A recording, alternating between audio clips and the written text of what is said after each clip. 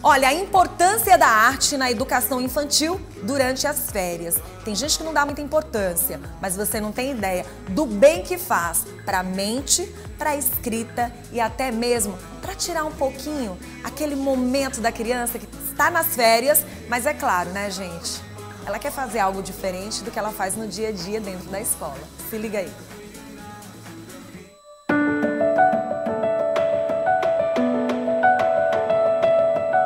Quando se chega no ateliê, recebe-se um banho de cores. Elas estão em todos os lugares e, juntamente com os traços, formam o material trabalhado no local.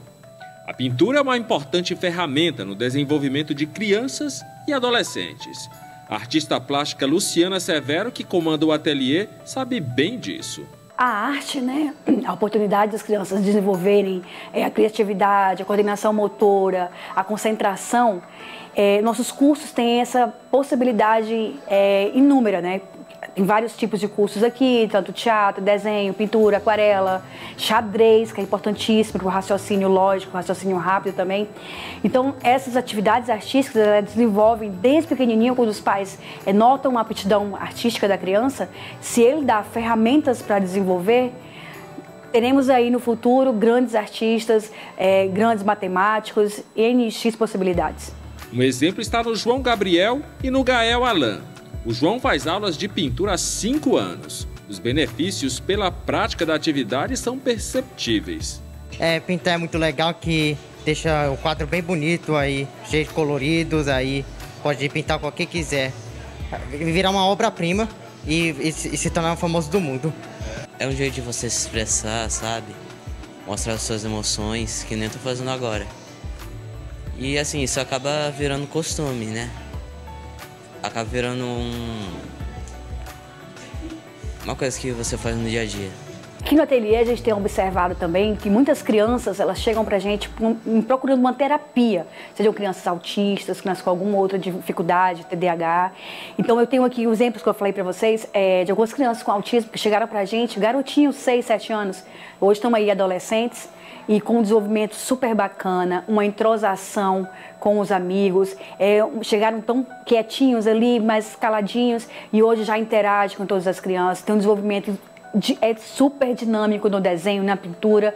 E isso nos engrandece muito porque sabe que a gente está ajudando essas crianças a desenvolverem um talento. Os jovens pintores aqui do ateliê já tiveram obras expostas no Museu do Louvre, em Paris, nos Estados Unidos, na Áustria, na Suíça, em Liechtenstein. Agora se preparam para outra exposição na França e também participam de ações beneficentes, como Love Parade, em setembro, para ajudar crianças em tratamento contra o câncer no Hospital São Marcos. São 140 crianças participando da iniciativa.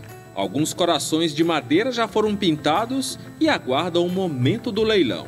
Outros estão sendo pintados. Os jovens artistas têm a liberdade para pintar o que quiserem, mas são direcionados ao tema do amor. A pintura, para mim, ela é uma arte, ela é uma forma de se expressar. A gente pode fazer, trazer várias mensagens com a pintura. A gente pode expressar felicidade, a gente pode expressar, expressar tristeza, indecisão. Depende realmente do que você quer passar para as pessoas.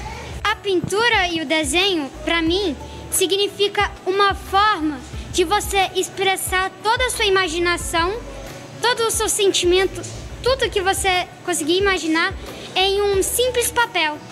E quando os irmãos são perguntados sobre o que representa a pintura para eles, a resposta é sempre linda. Eu me sinto mais livre quando eu me expresso, porque eu sei que aqui ninguém vai me julgar quando eu falo alguma coisa pela arte. Quando você faz um desenho, você sente uma felicidade, às vezes, que é muito bom. É bom você expressar no papel.